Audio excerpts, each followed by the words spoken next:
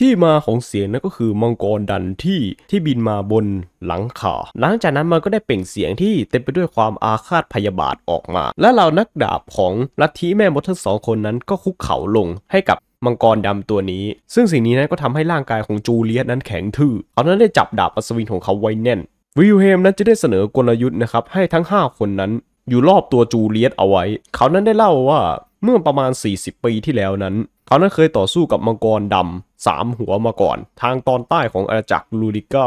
ซึ่งถ้าเปรียบเทียบกับมังกรดำตรงหน้าเขาแล้วนั้น ร่างกายของมังกรตัวนี้มันไม่ได้ใหญ่โตเท่ากับมังกรที่เขาเคยปราบมา การตัดหัวมันนั้นก็อาจจะเป็นไปได้หลังจากนั้นเองมังกรนะครับก็ได้พูดคำพูดเย้ยหยันออกมาครับถึงเรื่องที่มิมินั้นได้รับบาดเจ็บ ซึ่งก็ไปกระตุ้นต่อมความเจ็บปวดของกาฟิลครับเขานั้นได้มายืนอยู่ตรงหน้าเตีนที่จะไปเผชิญหน้ามังกรดำในทันที แต่ก่อนที่กาฟิลนะครับจะได้ทำอะไรครับซูบารุนะครับก็ได้มายืนอยู่ต่อหน้ากาฟิลแล้วบอกให้กาฟิลนั้นใจเย็นๆก่อนซูบารุนะครับได้พูดคำพูดเย้ยหยันนะครับให้แก่มังกรดำตัวนี้ ซึ่งก็ทำให้มังกรดำนั้นโกรธเกรี้ยวเป็นอย่างมาก มันนั้นตีนที่จะกำจัดซูบารุแต่ในขณะนั้นเองครับการที่ซูบารุพูดเย้ยหยันมังกรตัวนี้นั้นก็เป็นการถ่วงเวลาครับให้จูเลียสนั้นชาร์จพลัง จูเลียสนะครับได้ทำการชาร์จพลังนะครับแล้วก็ปล่อยลำแสงสีรุ้งนะครับไปโจมตีมังกรดำในทันที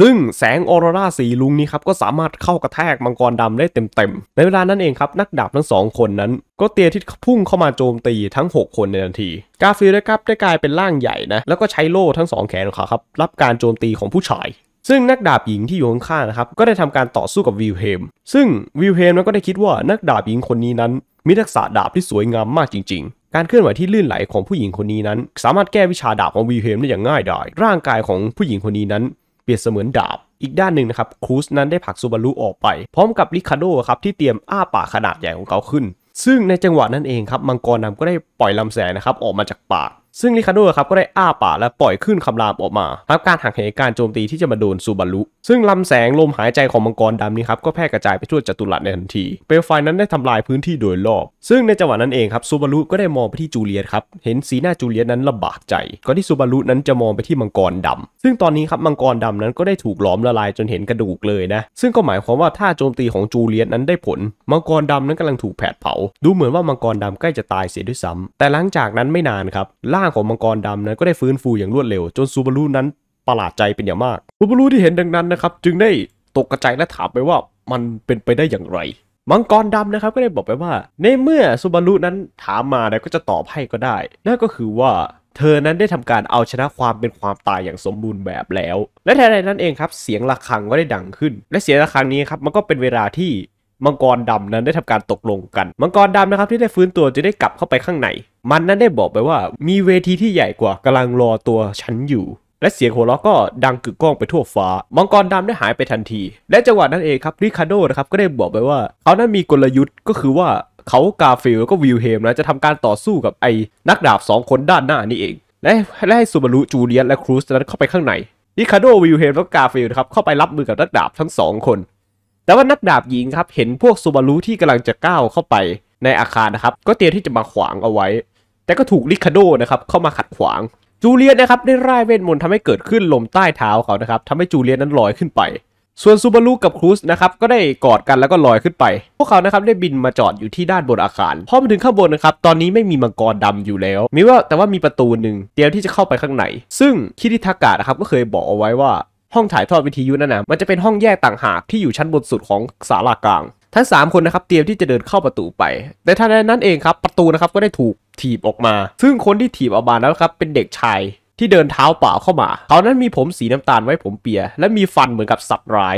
เขานั้นได้แสดงรอยยิ้มอันบ้าคลั่งออกมา และเขานะครับก็ได้พูดคำพูดบางอย่างทำให้ทำให้ซูบารุนั้นรู้ได้ทันทีว่า เด็กชายคนนี้น่ะก็คือบิชอปมหาบาปบาเบคาตกะ ซูบารุนะครับเมื่อเห็นดังนั้นเลยใช้ท่าโจมตีที่แข็งแกร่งที่สุดของเขานะครับก็คือการเหวี่ยงแส้นั่นเอง แต่ก็ถูกเด็กคนนี้นะครับคาบเอาไว้ด้วยปาก และจังหวะนั้นเองครับคูสนะครับก็ได้